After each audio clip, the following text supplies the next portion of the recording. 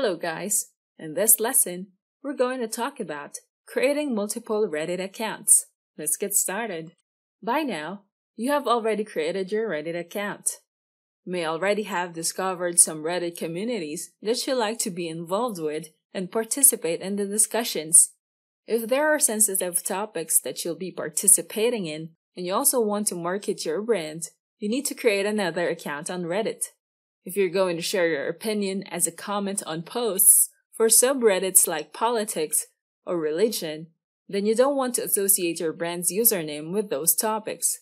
But this is because there will be instances that you'll get stalked by some Redditors or simply your account might get banned. If you want to establish your brand, you don't want Redditors to see hateful comments from your username. Now let's talk about why some people create multiple accounts on Reddit. It is possible to create different accounts on Reddit, especially if you want to get involved with different communities and you don't want to lose access to your account that you've built. There are times that you want to participate in a variety of Reddit communities that are not relevant to each other, and you don't like that your Reddit username be traced back to your post history because you want to remain anonymous. Remember that Reddit is where people discuss topics and say their opinions freely without worrying about other Redditors finding out their real identity.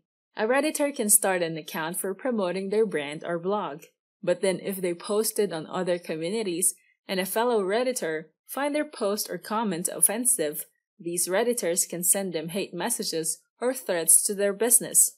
If you decide to create multiple Reddit accounts to maintain anonymous, you have to take note that for your accounts to be successful without getting banned, you need to have different IP addresses for each account. This will be possible with the use of a VPN, which can give you a different IP address and hide your true IP address. That way, Reddit won't see that a single IP address is using multiple Reddit accounts. Next, you need to use different email accounts for each Reddit account that you will register as you sign up.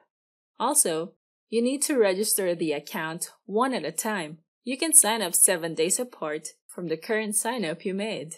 Once you've successfully signed up with multiple accounts, you must remember not to log into all of these accounts all at the same time using one computer.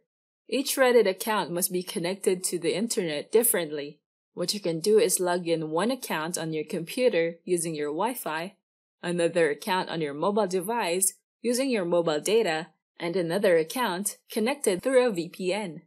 Also, you need to be active for at least 30 days participating in communities that you like for each Reddit account that you have created.